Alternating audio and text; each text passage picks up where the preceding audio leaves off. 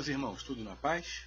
Bom, venho eu de novo aqui dar alguma dica que de repente pode estar vindo auxiliar a sua vida. Mas antes de eu falar um pouco do que eu quero falar no programa de hoje, é, eu tenho alguns pedidos e uma lembrança para vocês. Vou começar pela lembrança. Nós já estamos em fevereiro. Mês que vem já é o carnaval.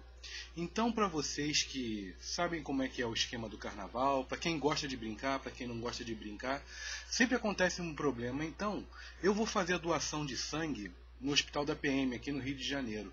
Você também pode procurar na sua cidade um local para fazer a doação de sangue, porque geralmente nessa época é muito necessário, tá bom? Quem puder ajudar, eu agradeço. E muita gente que vai precisar também vai agradecer. E vamos lá aos pedidos agora. Se você gosta do conteúdo que eu faço aqui e no segundo canal, faz a doação aqui, seja um, um colaborador, um apoiador da Rádio Reforma Interna. A doação que você fizer por mês vai estar auxiliando a manter a continuidade desse trabalho, já que o YouTube não vai manter mais. Terapias que eu ofereço, vai estar aqui na, na, imagem do vídeo meu WhatsApp de contato para se você quiser saber um pouco mais sobre a mesa radiônica, saber um pouco mais sobre a mesa vibracional e as outras terapias que eu ofereço, tá ok? Trabalhos de umbanda, trabalhos de magia que você precise, pode me procurar também. A menos, é claro, que você queira fazer amarração, que você queira fazer mal para a vida de alguém ou para a sua. Quanto a isso, não me procurem, tá bom, meus irmãos? Vamos lá. O que eu queria falar com vocês hoje? É, a, esse vídeo também, agradecer a Priscila. Priscila, um beijo para você, obrigado. Foi ideia dela eu estar tá abordando um pouco desse assunto devido a uma postagem que eu fiz no Instagram. Como é que a gente às vezes deixa de cuidar de nós mesmos nós não nos cuidamos bem para tentar cuidar da vida de alguém que não cuida dela. Você já reparou quantas vezes você deixou de fazer alguma coisa para ajudar alguém e essa pessoa não queria sua ajuda ou simplesmente recebeu e não deu o valor devido? Já aconteceu com vocês? Então vamos lá. O que, que acontece? A nossa espiritualidade, aqui eu vou sempre abordar a espiritualidade porque é essa a meta do canal, é trazer vocês mais próximo da espiritualidade de vocês, não a de qualquer outra pessoa, seja pastor, pai de santo, é, padre, todos eles têm a espiritualidade de forma individual, independente da forma de culto. O, todos, todos os praticantes e não praticantes de alguma religião eles têm a sua família espiritual e acreditam nela de alguma forma. E se é ateu, pelo menos acredita em si e muitas das vezes estuda para falar aquilo que não acredita. Que muita gente que é espiritualista não faz. Nem pegar um livro para ler, para estudar, para saber o que, que está falando, o que, que está vivenciando. Isso é para você mesmo, médium que só vai para o terreiro para trabalhar, para incorporar e depois não pesquisa nada. Vai estudar, vai fazer alguma coisa para dar subsídio mental para sua entidade poder estar tá vindo a trabalhar com você. Isso ajuda muito. Então, continuando. Senão eu acabo falando demais e fujo da, da ideia do, do vídeo. Nossa espiritualidade quer que nós estejamos felizes. Então, única e somente isso. Somos nós mesmos que atrapalhamos a nossa caminhada. Somos nós mesmos que somos culpados do, de todas da grande maioria dos problemas que vêm a nós, porque nós nos deixamos abalar. Quantas vezes você tá, escutou um comentário que se você não tivesse dado comentário, seu dia tivesse dado ouvidos a esse comentário, seu dia não teria sido ótimo. Mas porque você ouviu a palavra de alguém falando alguma coisa que foi no, muito que provavelmente desagradável para você, você deixou sua energia cair, seu padrão caiu, sua emoção foi lá embaixo, consequentemente seu dia não foi bom. Consequentemente, quando você deixa sua vibração cair, você se torna alvo de irmãos negativos que se, entram ali no mesmo padrão vibracional que você se encontra naquele momento, devido ao fato de você estar com a sua vibração baixa. É o mesmo princípio da macumba. Ah, alguém fez um feitiço, fez uma macumba para mim e pegou. Por quê? Porque a tua energia estava no padrão vibracional que chegou aquilo no teu padrão certinho e pegou em você. Se tu tivesse se sentindo bem, feliz, andando certo com você mesmo, tá num padrão de energia assim, o feitiço não pegaria em você.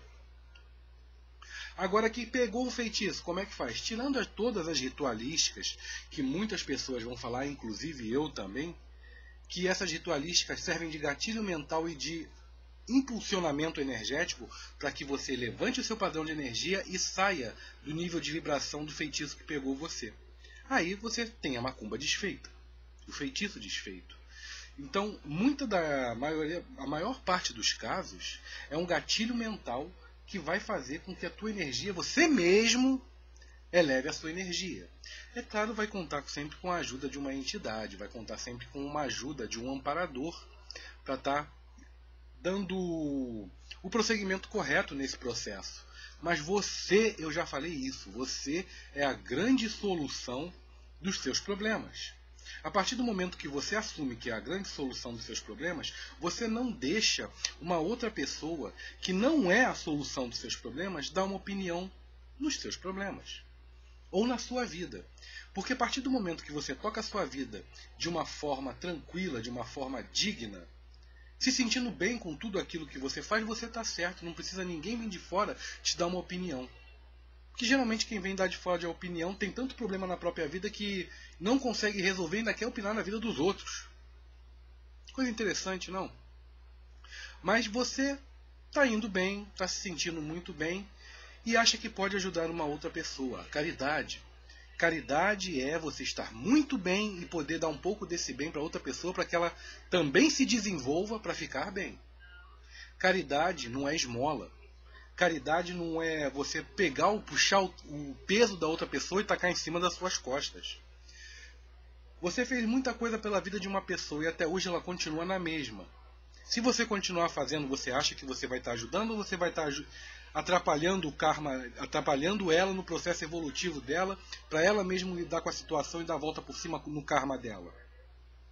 Você está puxando um peso para suas costas e está deixando outra pessoa estagnada. Verdade. A partir do momento que você estende uma mão, essa pessoa pega a sua mão e sobe para tentar caminhar com as próprias pernas, beleza. Esse é o grande princípio da caridade e um bem muito grande que você fez para a vida dessa pessoa essa pessoa pegou na sua mão e está te puxando para baixo, e você está indo, não está certo. Não está certo. Sua espiritualidade está assim, ó. Vamos ver até onde que isso vai. Vamos ver até a hora que ela acorda ou ele acorda para ele não querer cair no buraco junto com a pessoa, com essa outra pessoa. Meus irmãos, repito, tenham muito amor com vocês mesmos, tenham muito carinho por vocês mesmos. Você que está com uma doença, você que está passando por uma dificuldade e ainda está puxando o problema dos outros, não faça. Está piorando a sua situação. Primeiro você tem que se cuidar. Primeiro você tem que se cuidar e estar bem, para depois você poder ajudar uma outra pessoa. E além disso, nesse gancho, você tem que aprender a receber ajuda também. Porque muitas das vezes é, nós ajudamos, ajudamos, ajudamos, mas não sabemos receber a ajuda. Eu tive essa dificuldade. Quem me chamou a atenção foi seu Zé Pilintra. Tá, tá ficando muito bom no que você está fazendo, né? Não está nem pedindo mais ajuda. Foi uma vez só para nunca mais. Quem quiser me ajudar, eu aceito.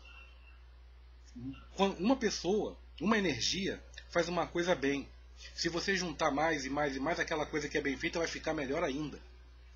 Ou seja, aprendam a pedir à sua família espiritual e a receber os presentes. Muitas das vezes você recebe uma dádiva na sua vida e não tem a compreensão dela. Ah, eu queria tanto em determinado lugar.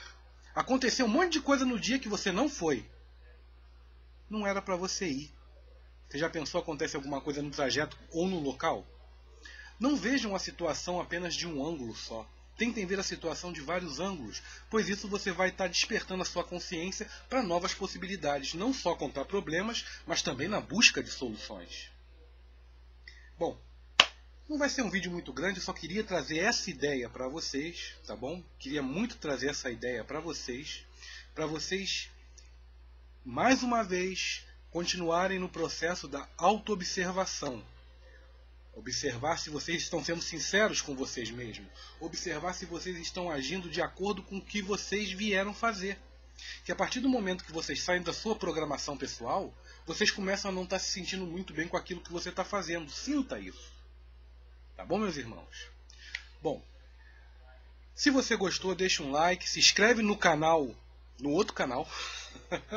e nesse daqui também pode continuar se inscrevendo nesse no canal que está descrito aqui abaixo. Está escrito aqui logo abaixo está escrito assim novo canal da Rádio Reforma Interna. Lá vai continuar tendo conversas com nossos irmãos espirituais, tá bom? Aqui vai ser sempre mais um bate-papo comigo, uma troca de ideias comigo agora. Então, muita paz, muito axé e até o nosso próximo programa.